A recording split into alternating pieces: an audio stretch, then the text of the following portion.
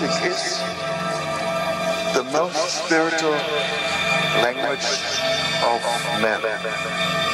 There's nothing so invisible, if I may say so. Say so. Music is just vibration which we can only perceive through the ears and through the skin. And this is the highest form of communication and of perception.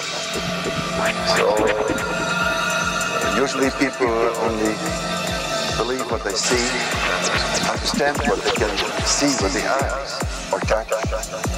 But musical people can perfectly live in a world of vibrations without seeing something.